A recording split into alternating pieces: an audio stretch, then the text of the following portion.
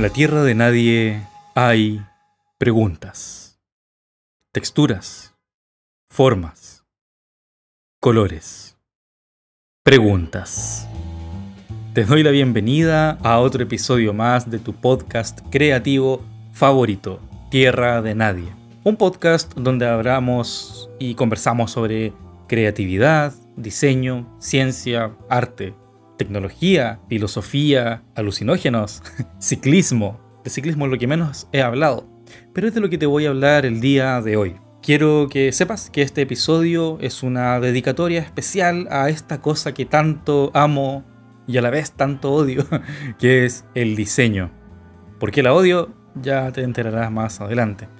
O puedes escuchar los capítulos anteriores donde he dejado entrever, por supuesto, cuál es mi postura respecto a mi disciplina pero por supuesto que hay cosas hermosas. Estoy tremendamente inspirada porque vuelvo a hacer clases este semestre, entonces estoy con muchas ideas y ganas de poder compartir con ustedes distintas formas de entender esta cosa que me gusta tanto, que es el diseño y la pasión por la creatividad.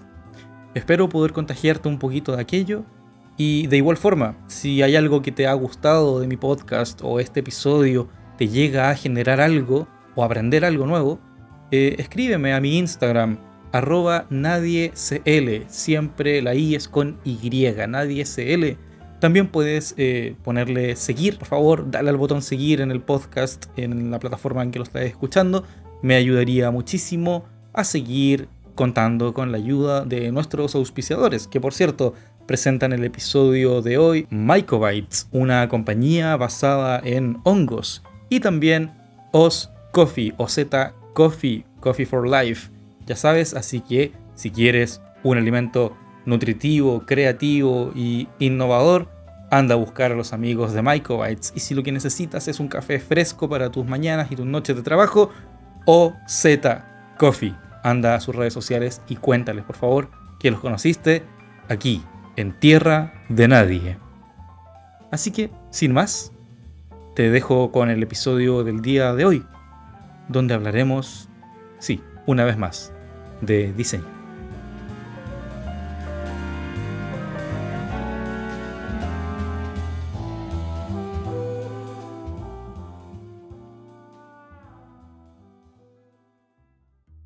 Tal vez sea buen momento para hablar un poco sobre mí. Ya van varios capítulos en los que me di cuenta que no había presentado a quien les habla. Eh, así que bueno, siempre viene bien, ¿por qué no? Una pequeña reintroducción. Y para quienes ya me conocen hace más tiempo, bueno, tal vez sabrán algo nuevo de mí. Mi nombre es Aníbal Nadie, soy diseñador de profesión, pero docente porque la vida me hizo así. Eh, me encanta la pedagogía, he estudiado algunos diplomados, algunos cursos al respecto. Eh, por supuesto que el diseño gráfico es el área como que me vio crecer pero he indagado también en distintas áreas del diseño y hoy en día estoy principalmente en la teoría y también experimentando con sustratos físicos. Eh, soy artista visual también desde hace muchos años, tengo como mi pequeña carrera autodidacta, me encanta escribir, me encanta el café, por cierto, sí, me encanta el café, me encantan los hongos, creo que si hay un lugar donde encuentro paz y tranquilidad en esta vida tan agitada es los bosques, la naturaleza, todo aquello que me aleje a veces un poco de esta locura citadina donde habito. ¿Qué más te puedo contar sobre mí? Bueno, em, nada, ocupo palabras rebuscadas y lo único que espero con este podcast es poder brindarte una hora de tu vida que por lo menos valga la pena para que sientas que estás aprendiendo algo nuevo o que sientas que aquellas cosas que ya sabías tal vez las estás redescubriendo. No quiero entonces extender más esta eh, pequeña introducción donde simplemente pretendía eh, volver a presentarme y que quienes están sumando a este podcast eh, puedan saber un poco más de quién porta esta voz tan pausada y de palabras rebuscadas que les susurra odiosidades sobre el diseño al oído. Em, uno de los temas que más me gusta para adentrarnos ya en el episodio es la creatividad. Y por supuesto que la creatividad no se trata solamente de imaginar cosas visuales, gráficas, hermosas y después llevarlas a algún tipo de soporte para mostrarlas y decir, vaya, soy una persona muy creativa. No, creatividad tiene que ver con un modo de pensar, con un modo de existir incluso. Y esa creatividad a veces se plasma en escuchar creativamente, mirar, observar creativamente, tocar creativamente. Entonces, quiero en el episodio de hoy referirme a algunos elementos que hemos construido como sociedad y donde los diseñadores y diseñadoras gráficas han aportado a hacer cosas hermosas, cosas que sí a veces dentro de este pesimismo que planteo con todo mi pensamiento crítico sobre el diseño, eh, también a veces olvido decir las cosas hermosas que tiene el diseño. Y principalmente quiero mencionar dos. Por una parte, hablaré sobre la bicicleta y por otra parte hablaré sobre la tipografía, incluyendo al final un pequeño análisis sobre un objeto cotidiano que tiene diseño y considero que es hermoso. Así que son tres, pero el tercero te lo diré al final. Partamos entonces con la tipografía. ¿Qué diablos es tipografía? Bueno, eh, a grandes rasgos, tipografía no es una, un sistema de letras con el cual tú escribes en el computador y que puede tener una forma más bonita, más decorativa, eh, más simple, más minimalista, concepto que odio por cierto, y necesitamos entender que la tipografía no es eso, es como llamarle eh, arquitectura a la fachada de los edificios, porque que un edificio sea de vidrio o sea de concreto, o que tenga un diseño brutalista o moderno, no significa que esa sea su arquitectura, esa es su fachada, es su cara, es la forma con la que eh, terminó expresándose ante el mundo. Entonces, de lo que sí quiero hablar es de la tipografía como tal, que es el sistema de composición y diseño para organizar, diagramar y jerarquizar textos sobre algún tipo de soporte.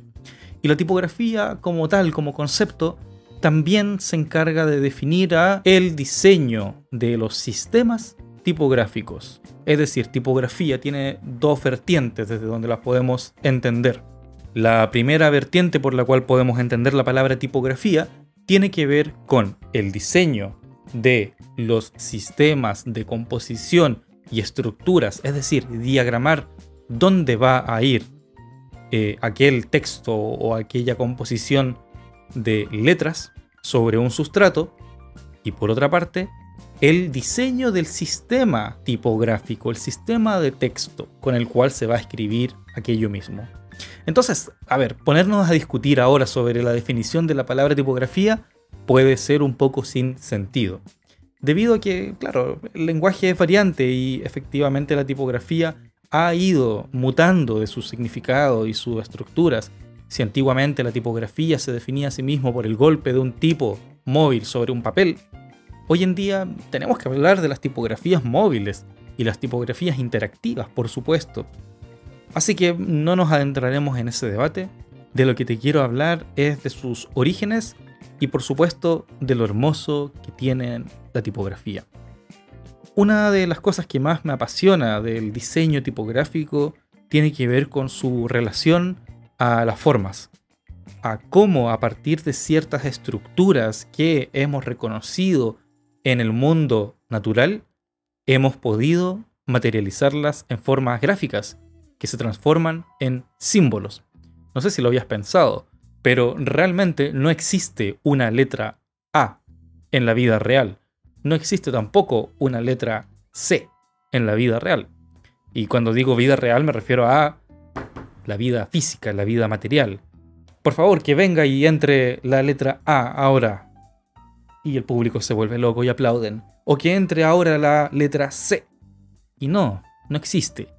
Son símbolos, son acuerdos a través de los cuales nos organizamos.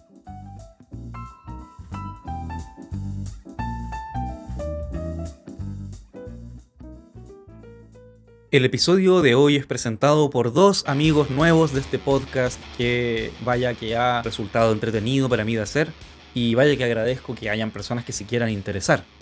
El primero de ellos es OZ, Café para la Vida, Es un café exquisito, tostado en Chile, fresco, es un café que te va a dar energía.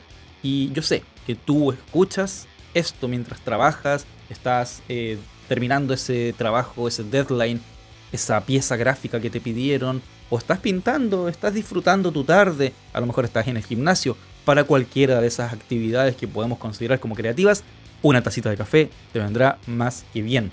Te invito a visitar su Instagram, oscoffeeforlife, se escribe todo juntito, o su tienda también www.ozcoffee.cl, se escribe todo junto, oscoffee.cl. Recuerda, busca la Z, siempre la Z. Y te tengo muy buenas noticias tienes un código de descuento. Si vas a comprar ahora mismo a su página web un insumo para tu cafecito, el café que te está faltando o un regalo simplemente, puedes utilizar mi código de descuento nadie o z, todo junto, n con mayúscula, nadie o z, y tendrás un código de descuento para que te compres ahí un cafecito, un regalo neo o un regalo para otra persona, ¿por qué no? Y me cuentas después si te gustó o no te gustó el cafecito. Saludemos a los amigos de OZ que están ayudando a presentar Tierra de Nadie.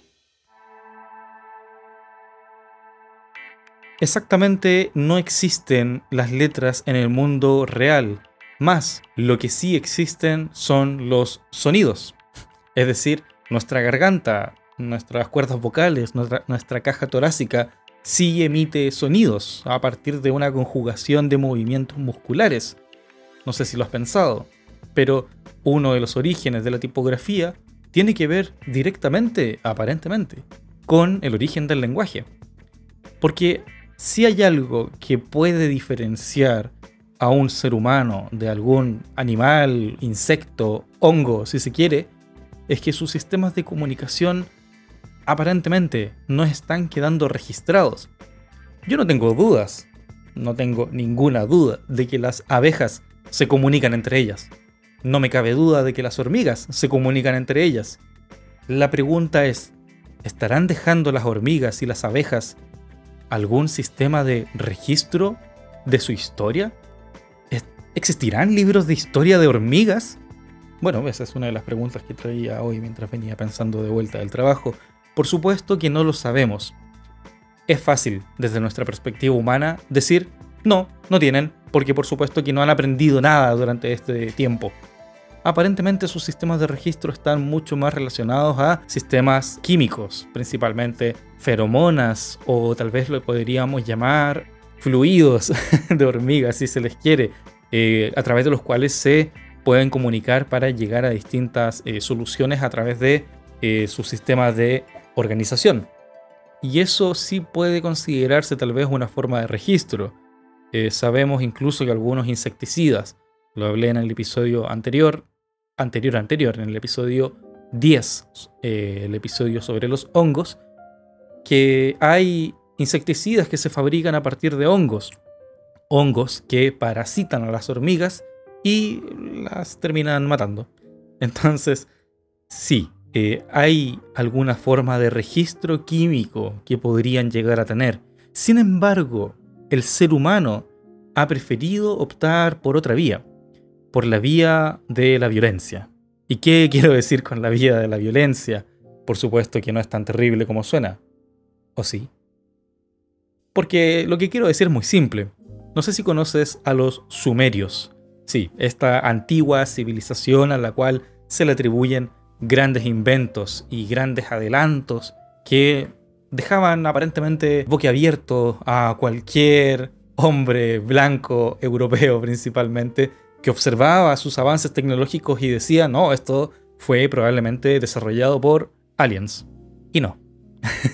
Los sumerios descubrieron de alguna forma estructuras, mecanismos de comunicación y desarrollaron algunos de los primeros sistemas organizativos de traducción de sonidos, que son estas tablillas que, haré el gesto por aquí, estas tablillas que eran grabadas con un cincel, llamémosle Cincel por ahora, tiene otro nombre, pero no nos vamos a meter en eso, a través de las cuales generaban estos grabados. Pero el grabado no tenía nada más ni nada menos que la forma misma del cincel, la misma forma de la estructura con la que están em, tallando una tablilla de arcilla, por ejemplo.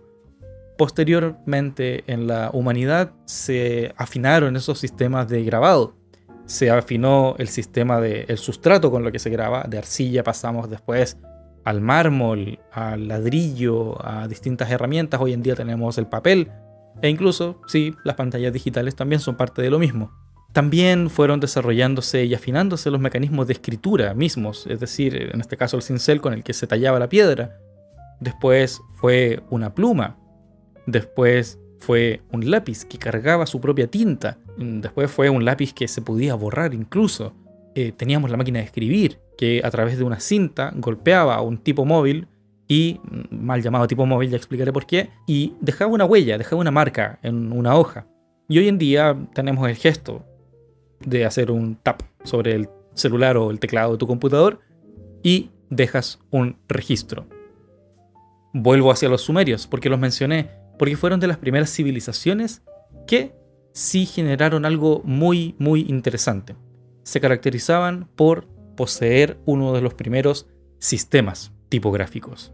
Organizaron un sistema que era legible, entendible, por ende era enseñable que sea enseñable y que sea aprendible hace que esto se pueda traspasar de generación en generación.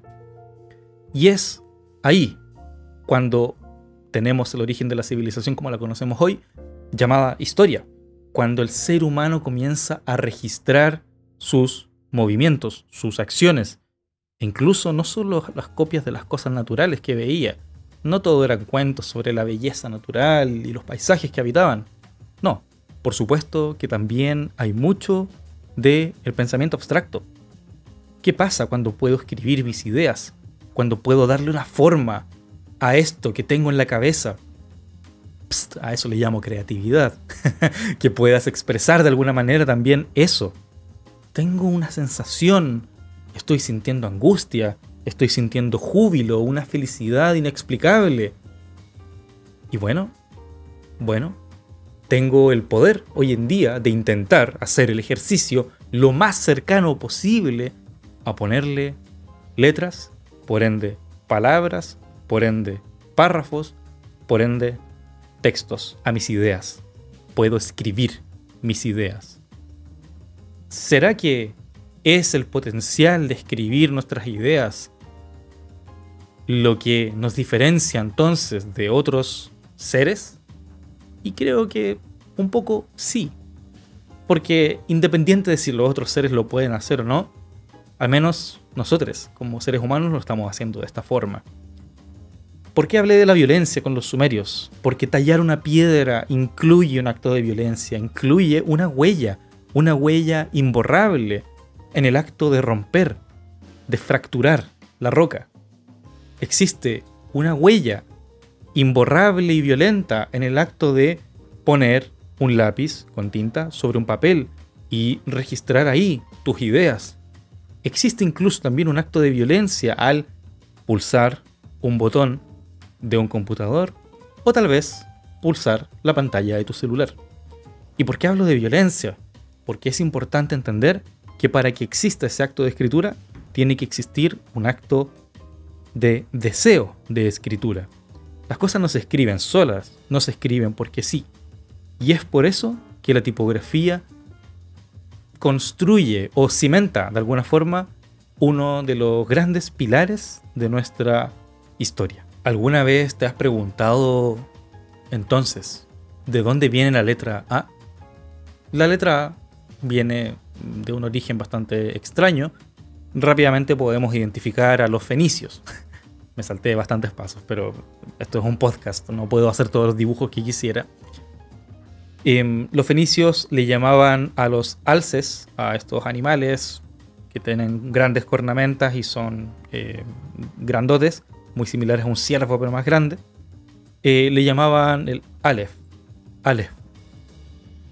Y para dibujarlo, de alguna manera, para tomar un registro de cuál era su forma física, hacían un pequeño dibujito. Y ese pequeño dibujito era una síntesis como un triángulo invertido con las dos cornamentas hacia arriba. Es decir, un triángulo que las dos líneas diagonales sobresalen finalmente de esa línea recta que lo atraviesa. Recuerda que está al revés, es decir, imagina las cornamentas y la boquita o la nariz, si se le quiere, en la punta. Eso es el origen de la letra A. Porque al pasar el tiempo dejaron de dibujar al Aleph como un símbolo eh, que simplemente representaba como eh, icónicamente.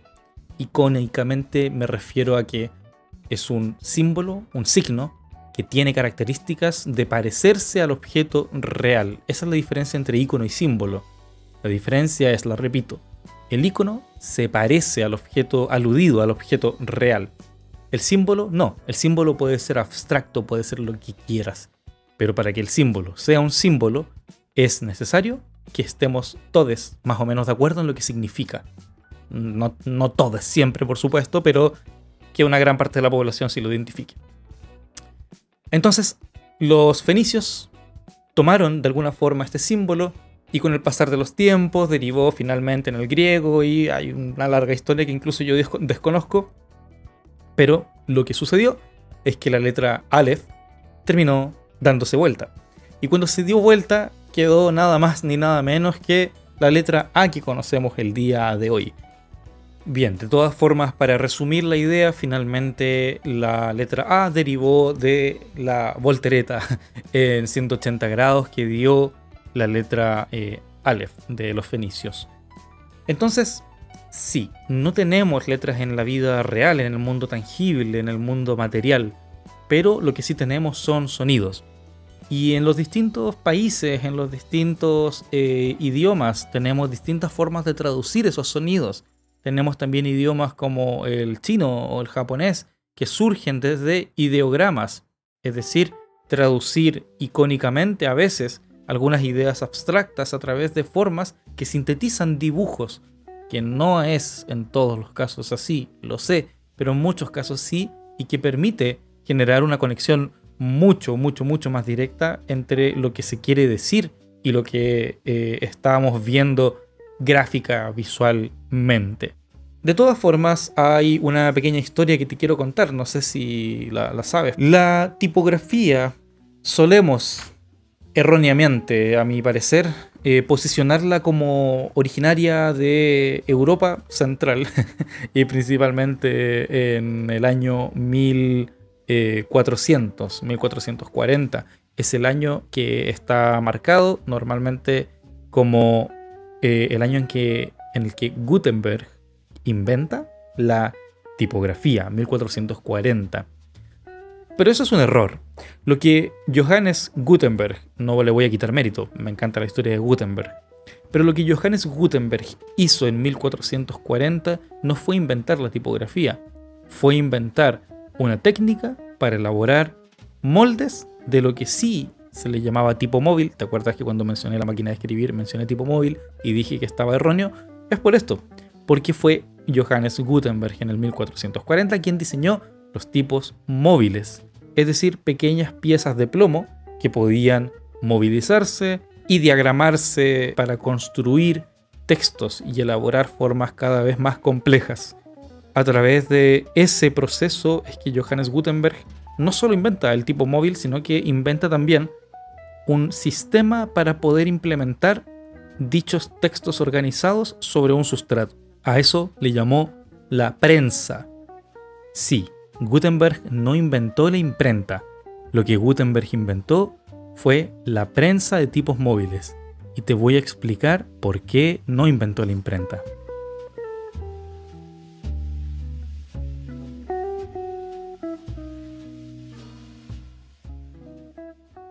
Como personas creativas sabemos que también hay que innovar en la cocina, ¿no? A mí me encanta cocinar y me encanta prepararme cosas ricas. Entonces, ¿qué mejor que aquellos productos locales que están trabajando con tecnología, que incorporan el diseño en sus procesos y que además hacen alimentos basados en hongos?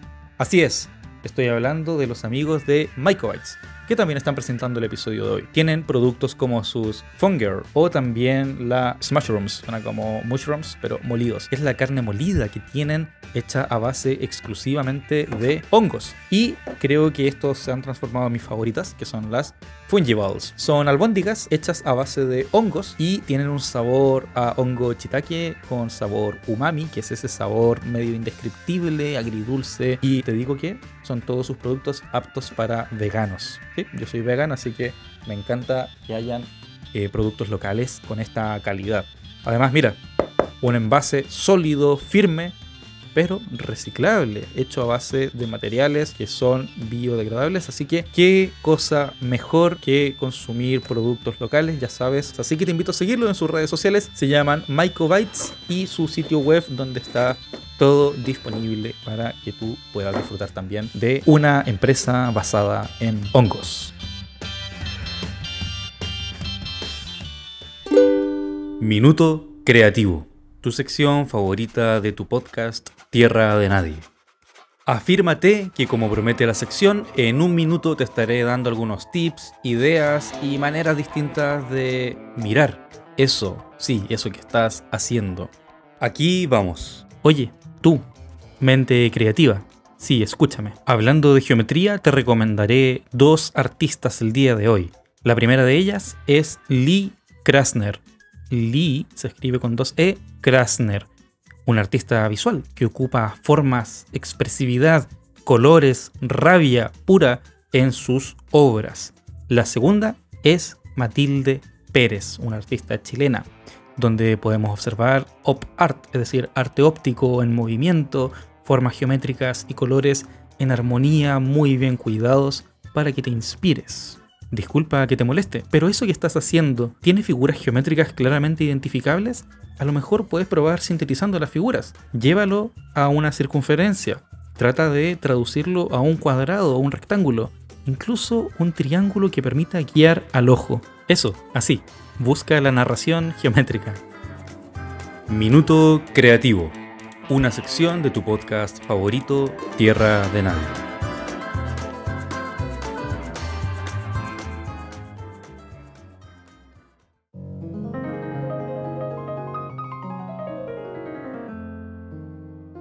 Así es. Johannes Gutenberg en el 1440 no inventó la imprenta. Lo que inventó fue un sistema de prensa para sus tipos móviles, que eran piezas de plomo fundidas con cada uno de los caracteres tipográficos que permitían grabar textos. Lo que es curioso de esta historia es que tenemos en las escuelas de diseño todavía enseñando esto mismo cuando hay registros de que en la década del año, escucha bien, 1040, el año 1040, vaya, vaya, cuántos años de diferencia. Es decir, son prácticamente 400 años de diferencia. En ese tiempo, en China, se tienen registros de que hay un ingeniero llamado Bi Sheng, desconozco y perdónenme por favor si lo pronuncio mal, pero Bi Sheng logró llevar a cabo un sistema de impresión basado en tipos móviles, pero eran de porcelana. Mira, es decir, sabemos ya que en China, 400 años antes de que Johannes Gutenberg tuviera la idea de fabricar su famosa prensa de tipos móviles, ya estaba el señor Bisheng en China desarrollando tipos de porcelana. ¿Y qué pasó? ¿Por qué no prosperó? Porque el idioma chino es extremadamente complejo. Y plasmar esa cantidad de símbolos era tremendamente complejo y tremendamente difícil a nivel productivo. Hay una enorme cantidad de caracteres que componen la escritura china, y eso fue un impedimento para que este sistema pudiera prosperar y ser utilizado ampliamente más adelante. Lo más probable es que muchas personas, Gutenberg entre ellas, hayan conocido el sistema, lo cual no necesariamente le resta créditos al alemán, Gutenberg era alemán, y su propuesta, más bien realza su perspicacia y la agudeza de su mirada. Eso nos dice el escritor chileno Roberto Oces, diseñador famoso. Eh, tenemos la suerte de que al día de hoy en el que grabo este podcast sigue vivo. Es un tremendo em, diseñador, un tremendo aporte a la historia del diseño también en Chile, con su libro Orígenes de la tipografía en Chile, que mostraré en cámara para quienes estén viendo este episodio a través de YouTube eh, y alguna otra plataforma de video en el futuro. De todas formas, eh, es un libro precioso y aquí nos cuenta unos cuantos, eh, unas cuantas curiosidades, ¿no? Así que sí, cuando leí esto me llamó mucho la atención porque siempre pensé lo mismo. Siempre mirando el diseño críticamente y lo que se me enseñó desde una mirada completamente eurocentrista e incluso podríamos decir androcentrista. ¿Dónde estaban las mujeres en este contexto? Bueno, por supuesto, eran tiempos difíciles, donde la mujer difícilmente tenía acceso a siquiera educación. Por ende, claramente esto terminó siendo un trabajo que, para mal, terminó siendo un trabajo que fue desarrollado principalmente por hombres. Una cosa interesante también para analizar dentro de esto es el rol de la iglesia dentro del desarrollo tipográfico, porque Gutenberg no imprimió cualquier texto cuando ya tuvo por fin su sistema de prensa de tipos móviles. Lo que decidió imprimir fue nada más ni nada menos que la Biblia.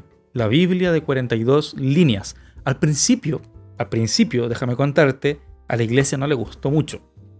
Porque, ¿qué tipo de arte demoníaco podría hoy, en esa época, 1440, imprimir de manera tan rápida no, perdón, ocupemos la palabra imprimir. Volviendo al sistema del dogma de la fe. ¿Qué alma demoníaca podría haber generado, me da por decir impreso, generado una Biblia a través de qué brujería en tan poco tiempo? ¿Cómo diablos lo hizo? Es que, claro, en esa época estaban los escribas, que eran personas de ciertos grupos, también conocidos como la iglesia, que tenían acceso a la educación, que tenían acceso al lenguaje y por ende acceso a aprender a escribir y que escribían la gente que habitaba en las iglesias, la Biblia, por supuesto. Por eso hay tantas versiones distintas y por eso hay tantas eh, formas de interpretar la Biblia también, porque eran estas personas las que se dedicaban a copiar y a veces incluso a modificar las Biblias. Tenemos también los manuscritos iluminados, que eran cuando los escribas aplicaban pequeñas partes de su rebeldía propia y decoraban con florituras con pan de oro, con este material que es dorado, que al frotarlo se queda impregnado sobre el papel, eh, con pegamento también. Tenemos em, decoraciones, ilustraciones en distintos textos bíblicos. Son algunas de las cosas hermosas que nos dejaron los escribas. Porque sí, son hermosas, hay que poder apreciarlas. Los manuscritos iluminados hoy en día son considerados verdaderos tesoros. Entonces, volvamos a Gutenberg. A la iglesia no le gustó nada no le gustó nada, nada, nada, nada que una persona sola en, no sé, un tercio del tiempo de lo que tardaba un escriba en desarrollar una Biblia completa, pudiera imprimir 10. y eso fue justamente uno de los orígenes de lo que conocemos hoy como diseño gráfico, que tiene que ver con la sistematización, la automatización incluso si quisiera decirle, de procesos para hacer pública información.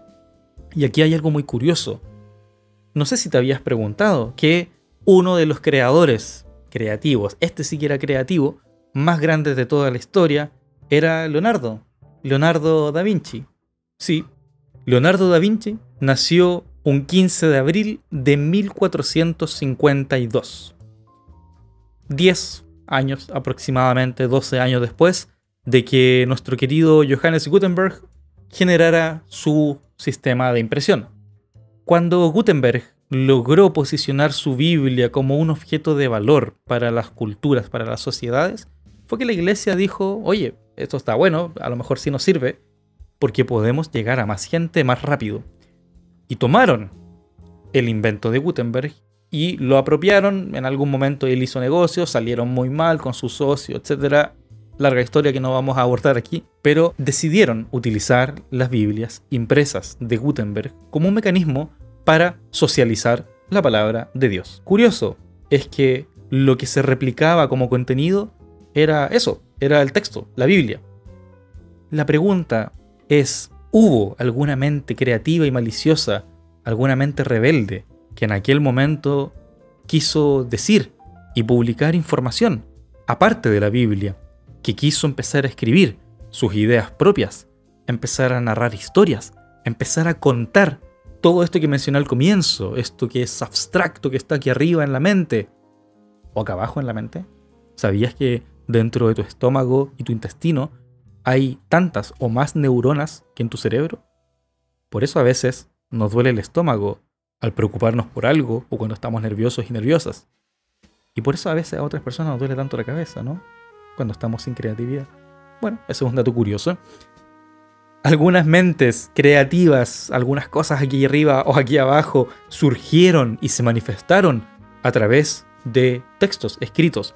Ahora sí, con la capacidad de ni siquiera saber cómo dibujar las letras, sino que solo tenías que saber seleccionarlas, leerlas y componer para poder escribir. Sí, comienza el proceso de lo que se le llamó un largo tiempo de democratización del conocimiento.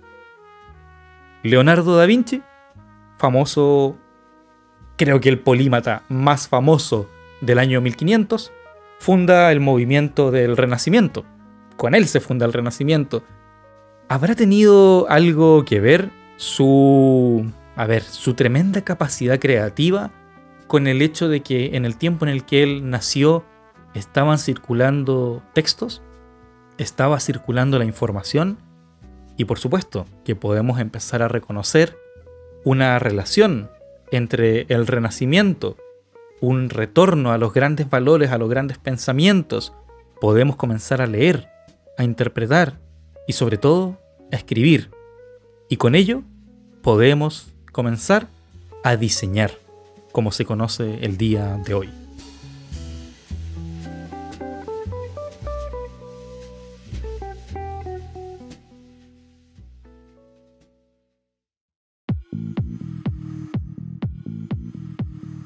Hongo. Hongo. Un hongo a la semana.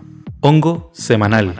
Una nueva sección de tu podcast creativo favorito, Tierra de Nadie. Y como siempre hablamos de hongos, decidí que era momento de darles un espacio dentro del podcast. Porque sí, soy un micólogo aficionado. Me encantan los hongos, me fascinan, me vuelven absolutamente chango.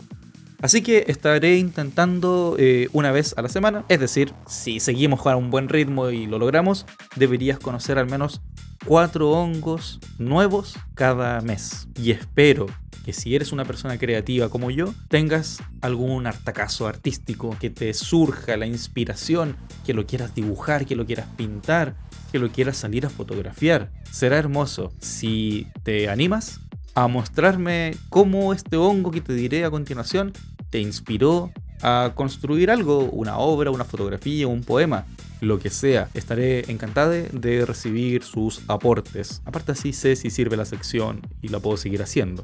Así que vamos con el hongo de la semana. El hongo de esta semana es uno que es muy atractivo y espero que te guste. Se llama Ramaria flava. Lo repito, Ramaria también se le conoce como changle. es un hongo eh, muy famoso en el sur y sector austral de Chile y es una fructiferación que tiene una forma muy similar a un coral. Mide de 6 a 20 centímetros de alto y suele encontrarse en bosques y plantaciones de pino. Hay que buscarlo en las zonas húmedas y oscuras, hay que saber encontrarlos.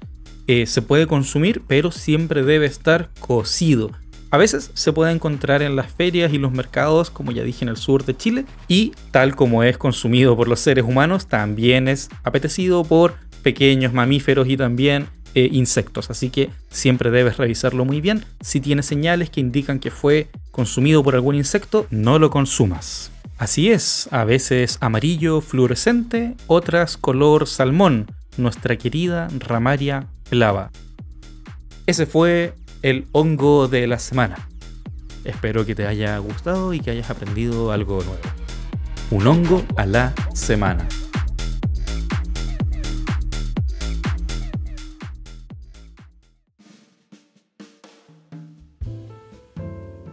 Por el día de hoy dejaremos la historia de Leonardo da Vinci hasta ahí sino que quiero que quede como una pequeña antesala de los próximos episodios, porque es una historia tremendamente emocionante. Y creo que Leonardo da Vinci, sí, es cliché, pero es que no puedo obviarlo, no puedo evitarlo. Por supuesto que es de esos personajes que a mí me ha inspirado tremendamente a pensar el mundo desde una visión integral y empezar a unificar estos conceptos que aparentemente a veces están aislados y separados como la ciencia, la observación, el dibujo, la anatomía. Bueno, en fin, Leonardo da Vinci, no sé si el fundador, pero uno de los nombres más reconocidos del movimiento y el renacimiento italiano en el año 1500, logra desarrollar una tremenda serie de experimentos, inventos, pinturas, obras, arte, ciencia, que dejan un significativo eh, rastro en la humanidad. Y es gracias justamente a los textos. Podríamos tratar de eh, generar esa, esa relación entre que había información circulando. Me voy a saltar unos cuantos años después. En la época de las colonias, cuando este imperialismo duro y puro, puro y duro, perdón, de los países como España, eh, el Reino Unido en aquel tiempo, eh, Portugal también, comienzan a colonizar el mundo. También sí, en el 1500 eh, y un poco antes incluso, empiezan a habitar, conquistar, destruir, invadir y saquear, por supuesto, otros continentes, entre ellos el continente americano. En el continente americano, en nuestro país específicamente Chile, tuvimos una de las grandes colonias españolas, eh, lideradas por el virreinato del Perú, donde voy a saltarme un par de pasos también, intentaron promulgar la religión católica como el dogma principal y hasta el día de hoy sigue teniendo demasiado poder en nuestra sociedad, eh, mucho que decir también sobre eso. De alguna forma, eh, los colonizadores se apoyaron de una herramienta más bien neutral, que les permitió ejercer poder y soberanía también sobre aquellos indios que habitaban aquí. porque se les llamaba indios? Porque se habían confundido con la India. Mira qué locura de alguna manera comienzan a ejercer su dominio corporal, su dominio físico, su dominio armamentista, pero también su dominio cultural sobre los pueblos originarios que habitaban nuestro continente. Todo ello fue manipulado de distintas formas. Al comienzo fue muy agresivo, luego fue muy pasivo. Por supuesto que los pueblos originarios se defendieron. Llega un punto, incluso si visitas el norte de Chile, donde la iglesia hace una movida que bueno, es tremendamente inteligente, por supuesto, y comienzan a integrar las culturas. Cuando comienzan a integrar las culturas, en el norte de Chile puedes encontrar estas iglesias que tienen patios. Una iglesia normalmente no tiene patio. Un patio delantero, a eso me refiero, un patio, sí, gigante. Porque las iglesias no tenían patio. ¿Por qué tendrían que tener un patio las iglesias europeas? Lo que sí se condice con la historia es que comienzan a integrar estos, esta estructura, esta bóveda, esta cámara que tienen en altura, con el patio donde los pueblos y las culturas y las tradiciones nortinas generaban sus eh, ritos religiosos, bailes, principalmente bailes, que los realizaban en una gran plaza pública. Entonces la iglesia para integrar ambas culturas les dio un pequeño espacio dentro de la iglesia. ¿Y por qué me era importante hablar sobre el dominio y esta, este impacto de la democratización de los textos? Es porque claro, lo que se comienza a escribir no da lo mismo. Siempre responde a algún tipo de ideología. En aquel tiempo tenía que ver con la instauración de un nuevo orden sociopolítico, cultural, económico, en todos los aspectos de la vida sobre personas que tal vez no lo querían. Hay un texto mm, escrito por Francis Meynell en el 1923, que fue uno de los textos que me introdujo la tipografía, que me lo presentó un profesor en aquellos años, llamado Rodrigo López, que si Rodrigo López en algún momento llega a escuchar este capítulo, le mando un tremendo y afectuoso saludo. Francis Meynell escribe en 1923 el siguiente texto. Dice, con 25 soldados de plomo he conquistado el mundo. Con 25 soldados de plomo he conquistado el mundo. Luego dice, deténganse, amables lectores, vuelvan del borde de este hondo estanque de sentimiento y verdad. Piensen una cosa para atenuar el asombro, así como la literatura está contenida de ese modo en un grupo de símbolos, la vida está controlada por una serie más breve. Me atrevo a declarar que, con 11 soldados de plomo, 11, ni uno más, estoy en condiciones de conquistar el universo. ¿Lo dudan? Primero obsérvenlos. Meinel de lo que está hablando es nada más ni nada menos que de las letras. Sí, un profundo amor y admiración que sentía el tipo por la eh, tipografía, por el conocimiento humano. Cuando habla de los 25 soldados de plomo al principio, se refiere a los 25 caracteres tipográficos que componen el alfabeto, desde la A hasta la Z. Sí, no incluye la doble L, no incluye la ñ, por supuesto. Simplemente haciendo esas dos restas consigue decir que con esos 25 soldados de plomo puede conquistar el mundo. Y no bastando eso, se aventura más y nos dice que con 11 y ni uno más soldados de plomo puede conquistar el universo. Llegado a este punto, ¿lograste adivinar cuáles son los 11 soldados de plomo? Sí, nada más ni nada menos que los números. Del 9 al 0. Pero un momento, ¿cuál sería el número 11? A ver si lo puedes adivinar. Voy a esperar a ver si logras adivinarlo. A ver si logras adivinarlo. Bien, por si no lo lograste adivinar, el último símbolo era la libra. Bueno, era bastante complicado llegar a esa conclusión, por supuesto, pero está sustentado en la idea de la libra como juego de palabras muy inteligente que hace este eh, escritor, eh, diseñador. La libra como un elemento que representa tanto la unidad de masa, cuanto pesan las cosas, que está mal dicho pesan, cuanto masan las cosas, es el término correcto, eh, en cuanto a una fuerza de gravedad relacionada a otros objetos.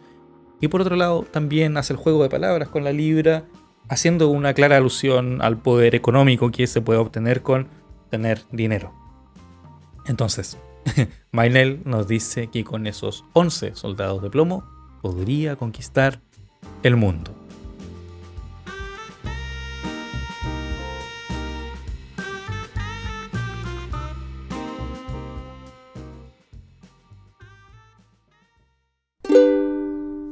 Estás escuchando Tierra de Nadie, un podcast creativo. Como bien sabemos en este podcast, leer también es escribir. Y cuando estás leyendo, normalmente dejas que tu mente fluya en un trance. Así que acompáñame en el siguiente trance.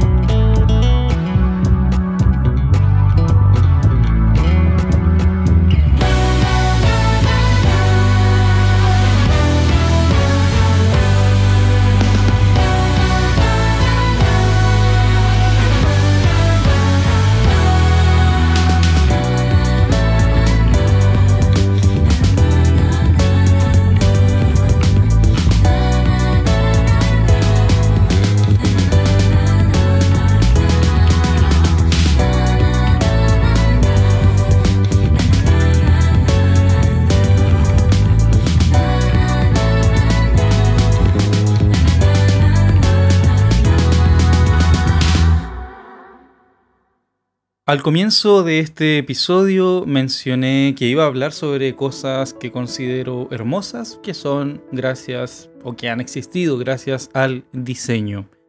Y si bien en la primera parte hablé sobre tipografía, también dije que iba a hablar sobre bicicletas.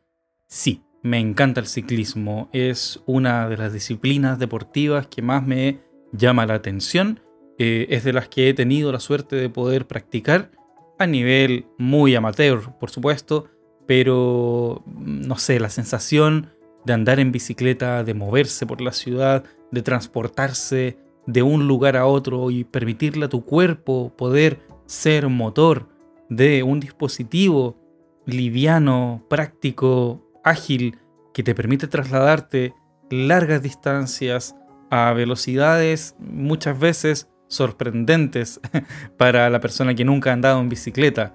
He tenido la suerte de ayudar a andar en bicicleta por primera vez a más de una persona y ayudar a sacarles a pasear, incluso eh, durante sus primeros como paseos, por así decirlo. Em, durante el año 2012 fui parte de una comunidad de ciclistas llamada Ciclista Zona Sur, eh, que estaba ubicada allá en la comuna de La Florida y Puente Alto. Hacíamos algunas salidas hacia el cajón del Maipo, eh, por ahí tuvimos una salida una vez, terminamos llegando a las 2 de la mañana a, a, la entrada del embalse del Yeso, San Gabriel, por ahí se llaman esos sectores muy lindos, muy lindos.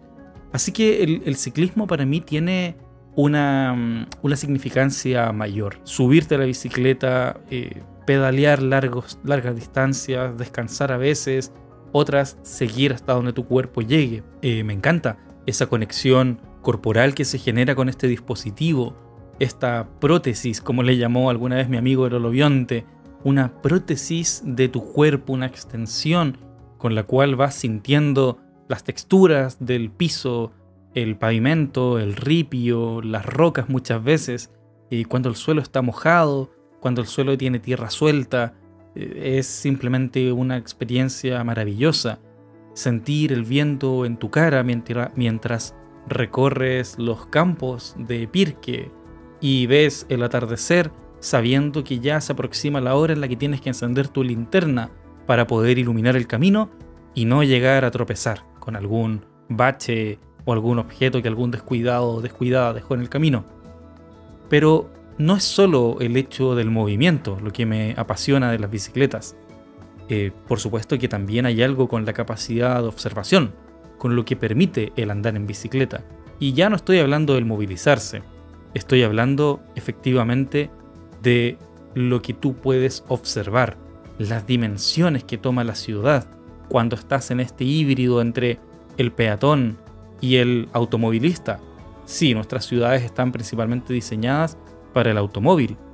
Pero, ¿qué pasa cuando tienes este espacio medio gris, esta zona extraña, en la que puedes detenerte en un semáforo y observar la ciudad antes de que te dé verde?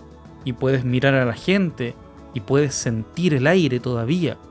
Puedes palpar de manera muy tangible, por así decirlo, los defectos de la ciudad, los flujos y también lo que más me apasiona y donde lo relaciono con la tipografía es la geometría de las bicicletas.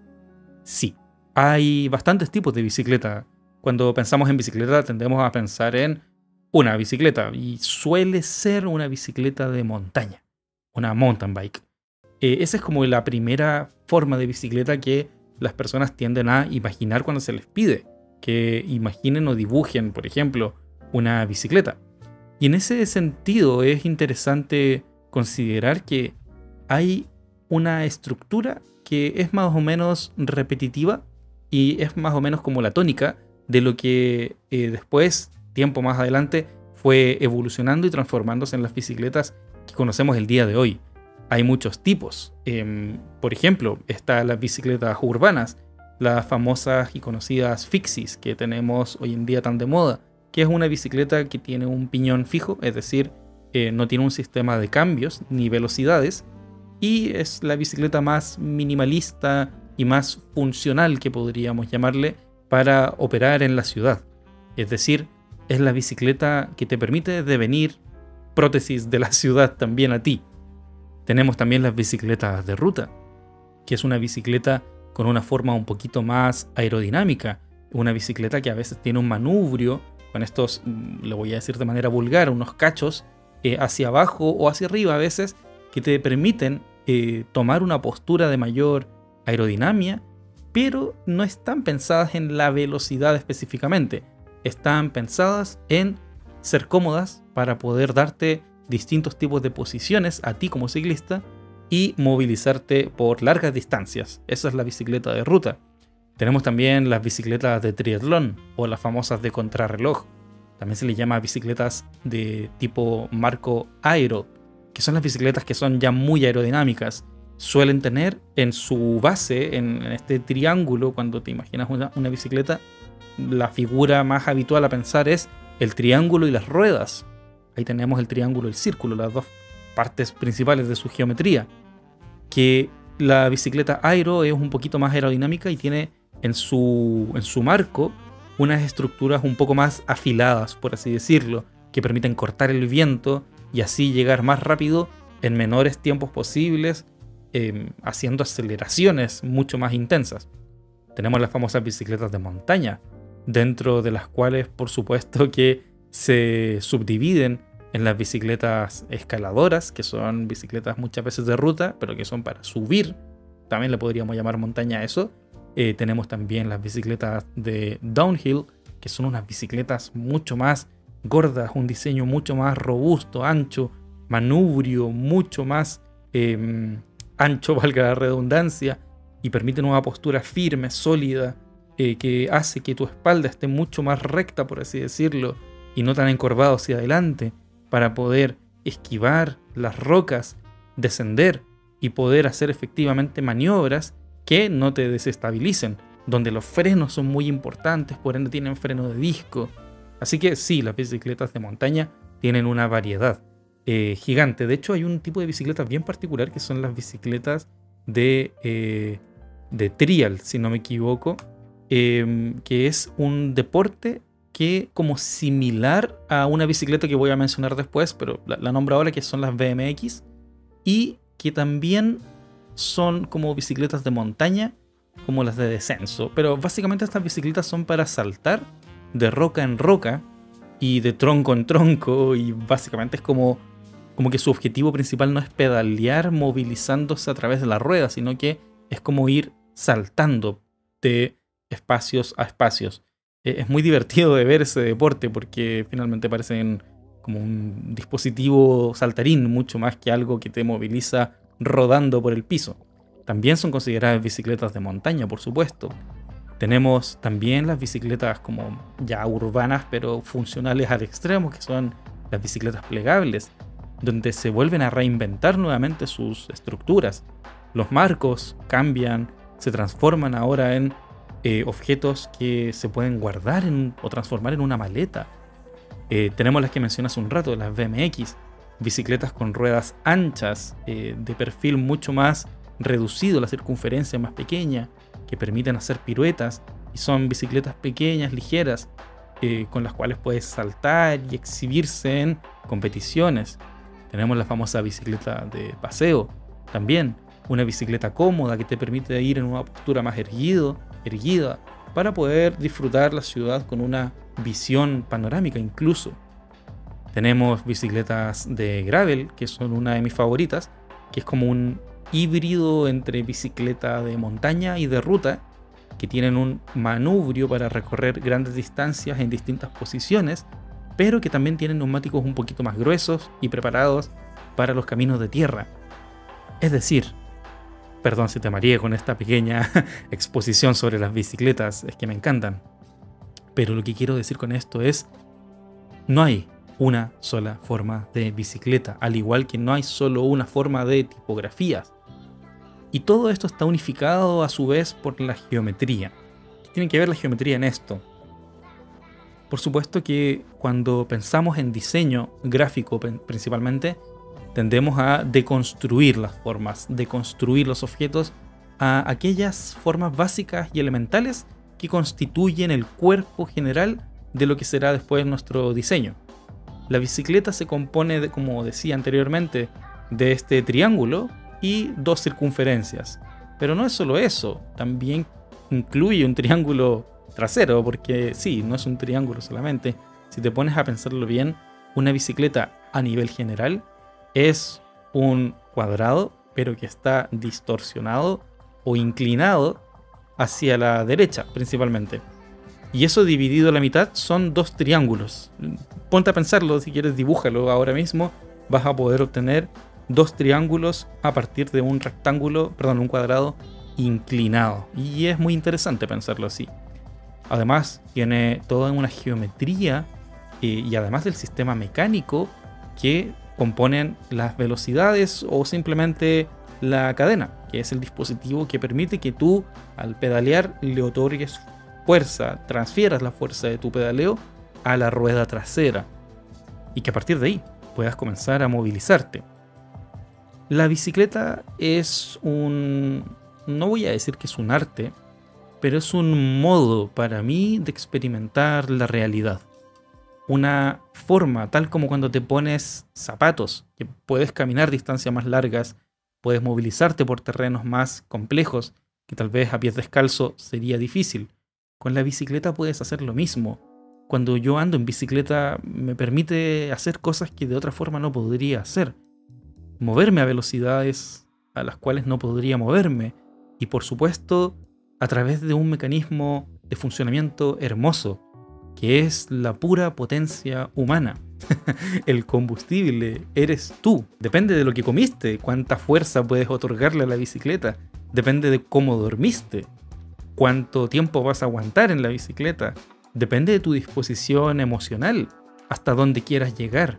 Así que te invitaría a conocer la bicicleta, a recorrer la ciudad en ella y, a ver, sí, es un objeto muy funcional, sobre todo para estos días. Es una excelente opción para movilizarse a tu trabajo, a tu casa de estudios o por hobby simplemente.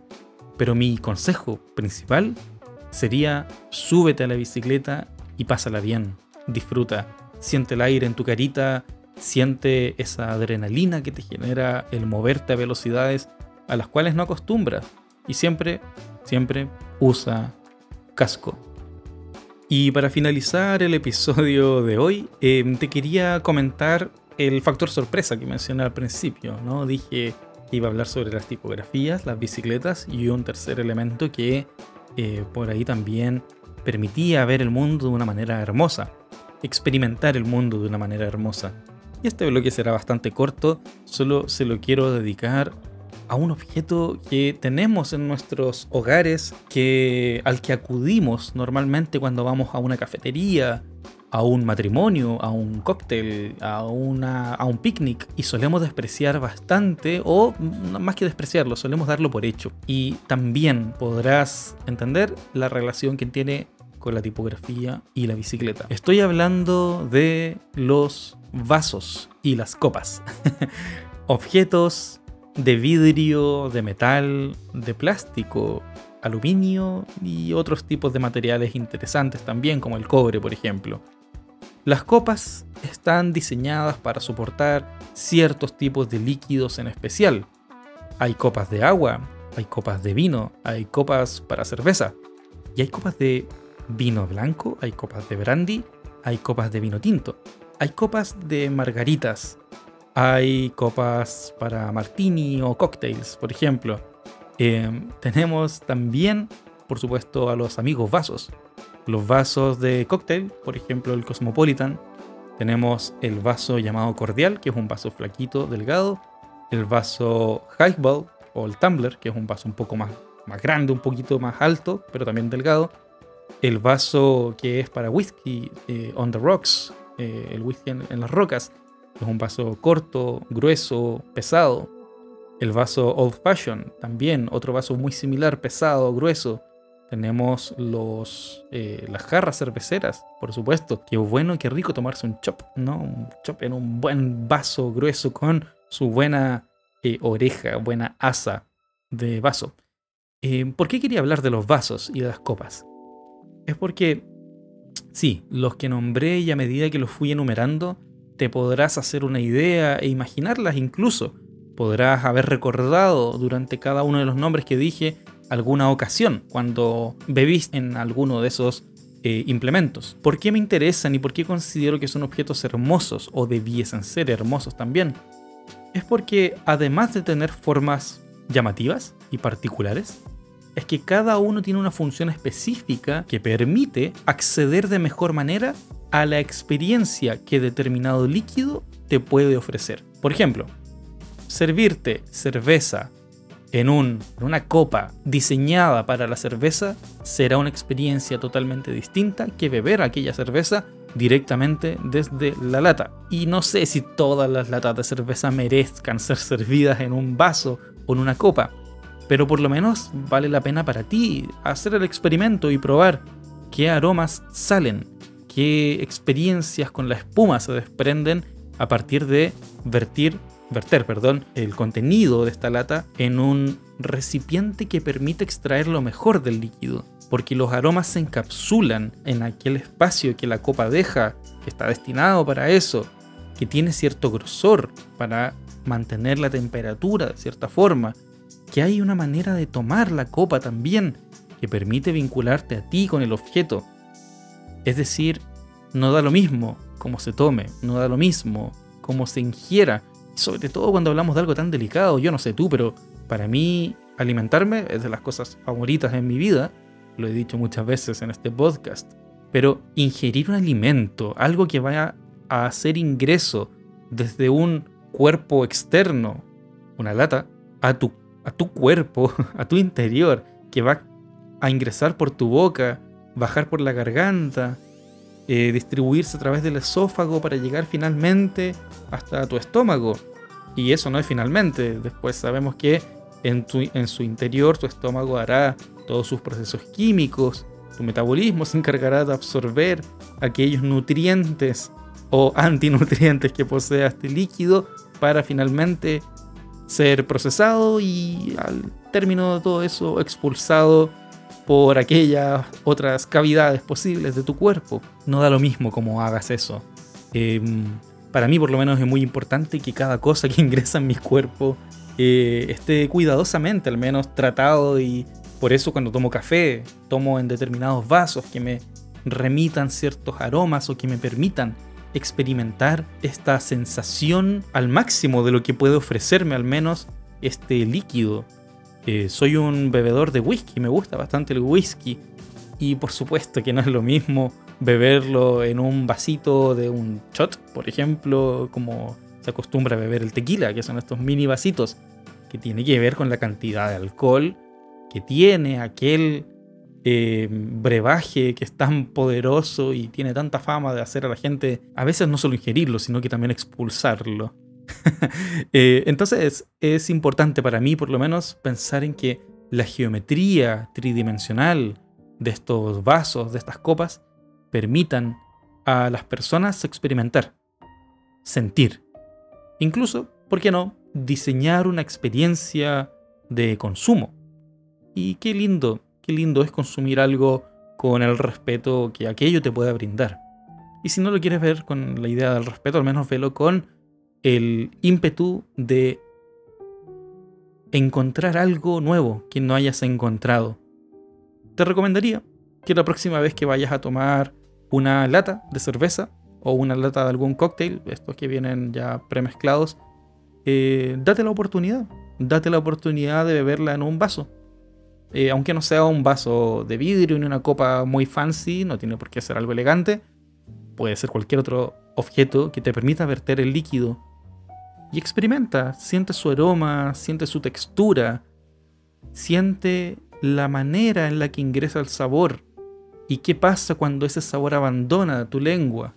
Siente los gustos, siente las cosas que van sucediendo ahí y date un espacio para experimentar de tal vez nuevas formas gracias a nuestra querida geometría, a aquellos brebajes de los que tanto hemos disfrutado.